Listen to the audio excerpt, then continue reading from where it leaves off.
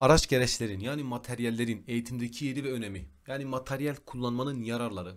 Materyal kullanma, çoklu öğrenme ortamı, işitme, görme, söyleme, yapma gibi çoklu öğrenme ortamı sağlayarak kalıcılığı sağlar. Çoklu öğrenme ortamı sağlaması sayesinde öğrenmede gerçek yaşantılar sağlar. Öğrencilerin bireysel ihtiyaçlarını karşılamalarına yardımcı olur. Öğrencilerin ilgi ve dikkatini arttırır. Derse olan motivasyonunu arttırır. Derse olan güdülenmesini arttırır. Aynı zamanda hatırlamayı kolaylaştırır. Siz derste tahtaya dünyanın şeklini çizdiniz.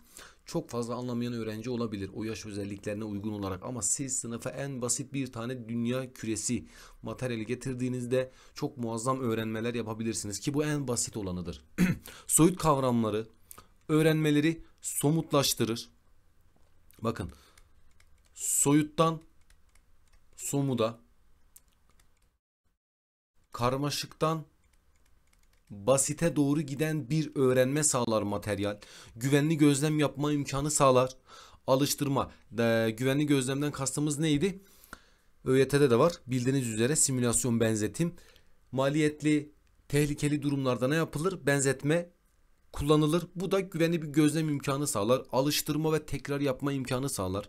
Siz o dünya küresini öğrencilerle sayısızca tekrar yaptırabilirsiniz öğrencilere. Alıştırma yaptırabilirsiniz. Farklı zamanlarda birbiriyle tutarlı içeriğin sunulmasını sağlar. İçeriği basitleştirerek anlaşılmayı, anlaşılmaları kolaylaştırır. Zamandan tasarruf sağlar. Değil mi? Az önce verdiğim örnek.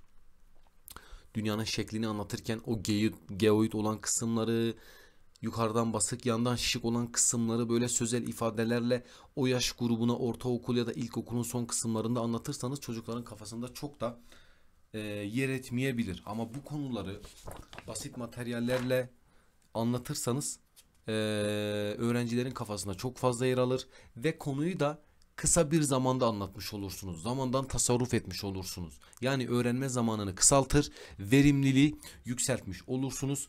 Ne dedik? Soyutu soyut yapar. Somut yapar. Karmaşık öğrenmeyi basitleştirir. Öğrenmede gerçek yaşantı sağlar. Öğrenmede kalıcılığı sağlar. Öğrenciyi aktif yapar.